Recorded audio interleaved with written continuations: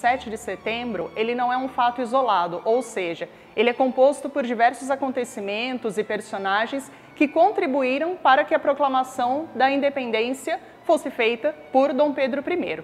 Ela ocorre em 7 de setembro de 1822, porém nós podemos dizer que ela começa em 1808, com a vinda de Dom João VI e a corte portuguesa para o Brasil por causa de uma eminente invasão das tropas francesas em Portugal, lideradas por Napoleão Bonaparte. Uma das primeiras ações de Dom João VI é abrir os portos para as nações amigas de Portugal.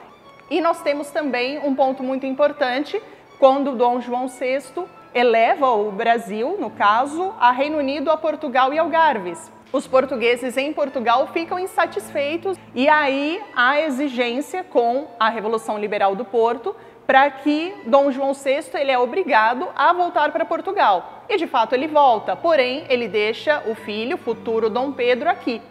Só que também há uma exigência posteriormente para que ele volte para Portugal. Só que, diferente do pai, ele decide ficar no Brasil.